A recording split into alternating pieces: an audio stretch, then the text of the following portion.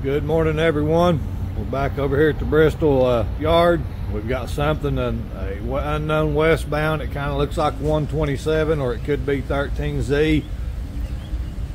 As both those trains are kind of looking similar nowadays. I haven't heard anything on the radio. Not sure what it is, but